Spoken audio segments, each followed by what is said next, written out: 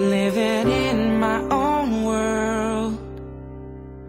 Didn't understand